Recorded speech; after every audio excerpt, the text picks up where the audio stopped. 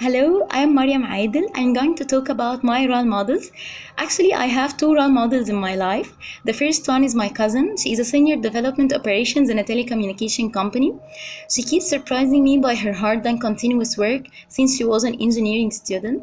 She taught me how to set a goal and how to achieve it.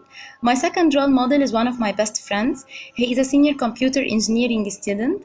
He is very determined, talented, and very successful person. He always inspires me by his love for what he is doing. Uh, he taught me how to work smart and how to love what I'm doing to get the best outcome. Thank you.